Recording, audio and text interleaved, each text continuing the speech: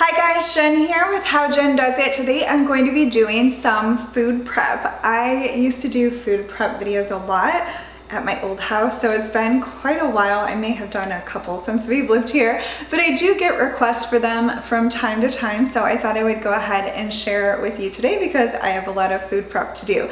So I hope you enjoy it. I know back to school time is coming up or may have already started for you so hopefully this will give you a few ideas. I also have tons of recipes and playlists and snack ideas and different things so definitely check those out. And if you aren't subscribed to my channel, I would love to have you subscribe. All right, let's go ahead and get into it. First, I'm going to make mason jar salads. These will be for my lunch all week. I have a full recipe video on these in case you want to check that out. They're so great for lunches. So I've already washed my lettuce and I have been letting it sit here to dry for a little while.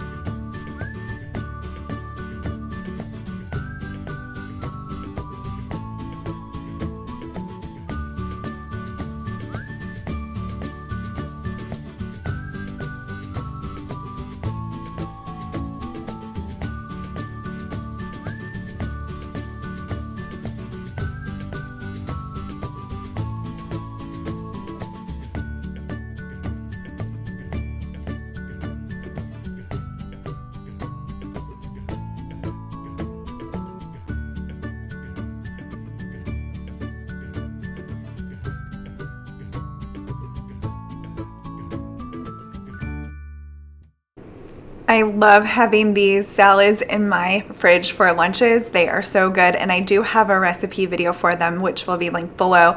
All you have to do is jump everything on a plate and this is a dinner size plate so you can see it makes a good amount.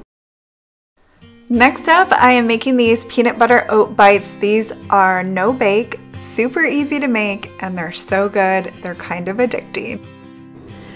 Okay, I don't follow an exact recipe for these. I've made them a couple different ways. I've made them with coconut, I've made them with pumpkin, and I do believe I shared that recipe in a snack idea video, so I will link that here. You can click on it or you can check the description box. But for these, I started making them and I was like, I need to double everything because this isn't going to make enough for our family. So I'm going to give you rough measurements. Um, I usually don't measure unless I'm baking, but I used about two cups of oats, about a half a cup of chocolate chips, two tablespoons of chia seeds, probably a half a cup of honey, and then the peanut butter I probably used between a half and three quarters of a cup. I just kept adding. You'll be able to tell if you have enough peanut butter because everything will stick together really well. You can see here I decided to add more of everything.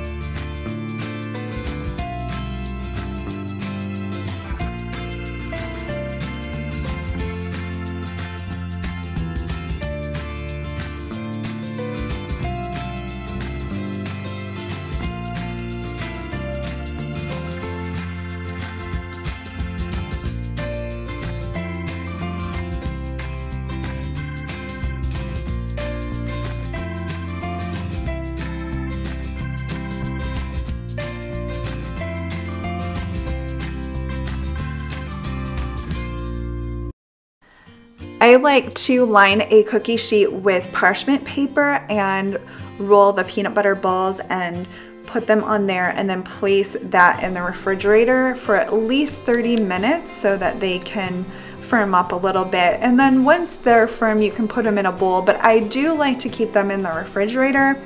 These are really good. Let me know if you give them a try. Next up, I am going to hard boil some eggs for my breakfast and the smiley faces are just so that my family knows that those ones are hard boiled.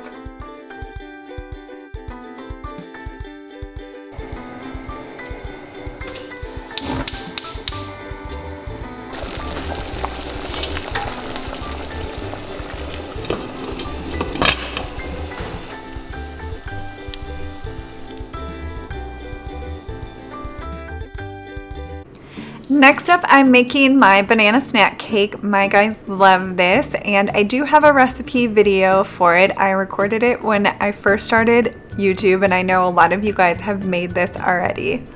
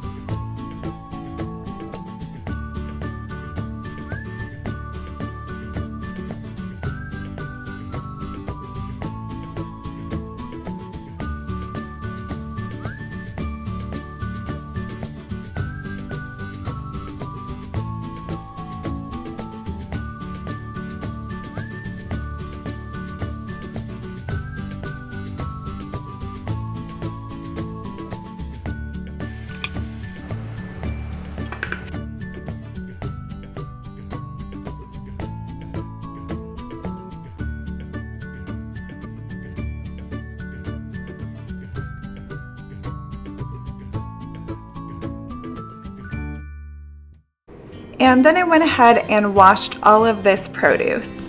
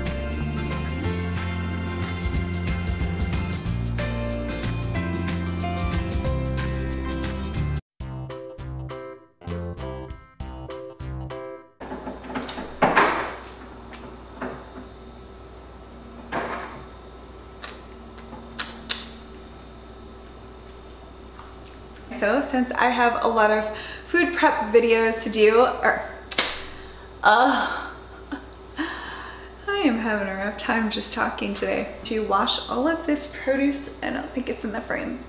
I have a bunch of produce over there, so I'm going to wash all of that. And if you, oh my God, some of you really like food prep video,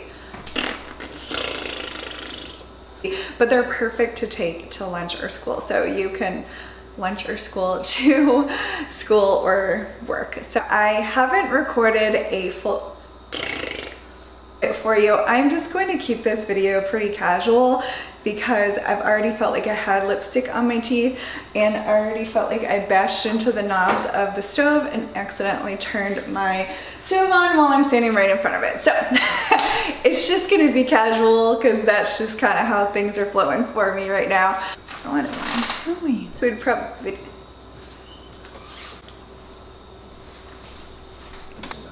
Huh? Thank you so much for watching guys. I hope you enjoyed this video.